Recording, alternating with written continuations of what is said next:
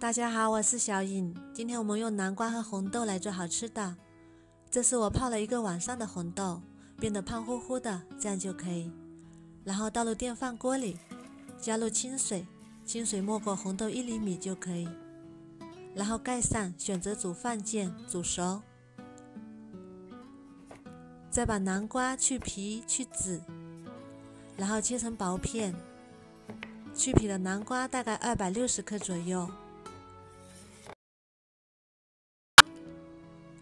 放入锅中，大火蒸十五分钟，蒸熟。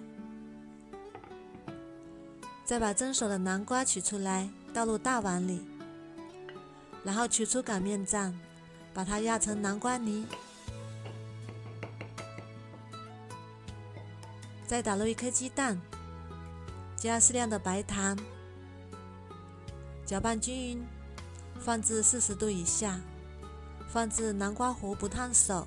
再加四克酵母粉，搅拌至酵母粉融化，再加四百克高筋面粉，然后顺着一个方向搅拌，搅拌成面絮状。再加三十克食用油，把它揉成面团。这里要多揉一会儿，尽量揉得光滑一点，像这样稍微偏软的面团，然后盖上，发酵至两倍大。我们的红豆也已经煮的差不多了，打开看看，红豆已经煮开花了，就已经熟啦。再把它倒入大碗里，加两勺白糖，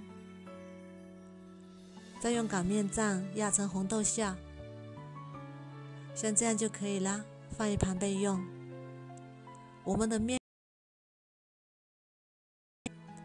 发好的面，用手指搓动，不塌陷也不回缩。再把它取出来，好好揉一揉，排出里面的空气。再揉五分钟左右，把它搓成长条。再分割成十到十二个小面团，然后把每个小面团都揉成圆形，像这样就可以啦。再把第一个揉好的面团取出来，用手轻轻拍扁，拍成饼状。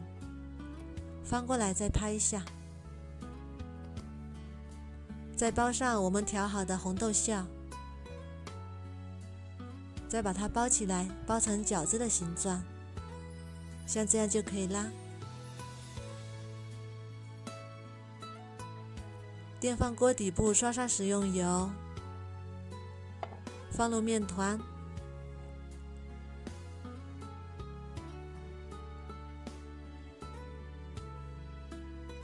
然后盖上，再次发酵至两倍大，这样就发好了，变得胖乎乎的。再准备一个鸡蛋黄，用刷子搅散，表面上刷上蛋黄液，再撒点黑白芝麻，这样更香。然后盖上，选择煮饭键，大概需要四十分钟左右。电源调到保温键，就已经熟啦。我们打开看看。哇，好香啊！浓浓的南瓜红豆香。再把它取出来，底部也非常的漂亮，金黄色的，表面有点焦香，像烤出来的样子，里面非常的松软，用南瓜和的面非常的柔软，里面是香甜的红豆馅，比外面买的面包还要好吃。蒸出来的面包撑着不上火。老人和孩子都应该多吃一点，当早餐也非常不错。温热的时候把它放入保鲜袋里，这样凉了也不会硬。如果你喜欢也试试吧。喜欢我的视频就关注我吧，谢谢您的支持。大家好，我是小颖，今天分享一道非常好吃的面食。首先准备五百克面粉。一半用开水烫面，把面烫熟；另一半用凉水和面，然后搅拌至没有干面粉，再把它揉成一个稍微柔软一点的面团，像这样就可以。然后盖上，醒面十五分钟。趁这个时间，我们来做油酥：六十克热油烧热，加入花椒和葱段，烧至葱段变色，再把它捞出来。然后准备五十克面粉、四克盐，浇上热油，搅拌均匀备用。面板上撒上干面粉，把醒好的面不用揉，分成两份，再把面团拍扁，再用擀面杖擀成长方形的薄饼，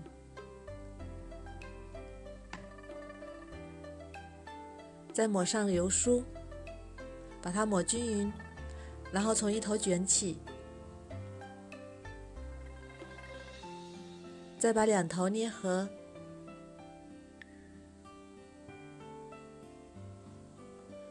然后像这样向中间聚拢，把它做成饼坯。这样做出来的饼坯层次非常多。做好之后再醒十分钟。提前把锅预热，刷油，再把醒好的饼坯轻轻拍扁，然后擀成稍微厚一点的面饼，不用太薄。这个饼很软，非常容易擀开，像这样就可以放入锅中，再稍微转动一下，上面再刷上一层凉油，保持水分不流失，然后盖上盖子焖两分钟。时间到，我们给它翻个面，然后再盖上盖子焖两分钟。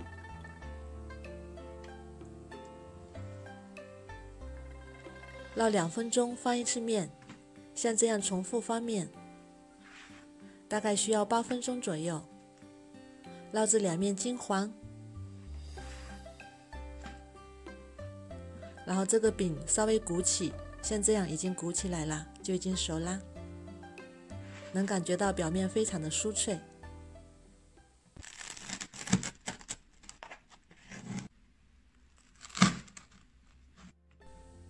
这样做出来的饼表面非常的酥脆，里面层次多又柔软。如果你喜欢也试试吧。喜欢我的视频就关注我吧，谢谢您的支持。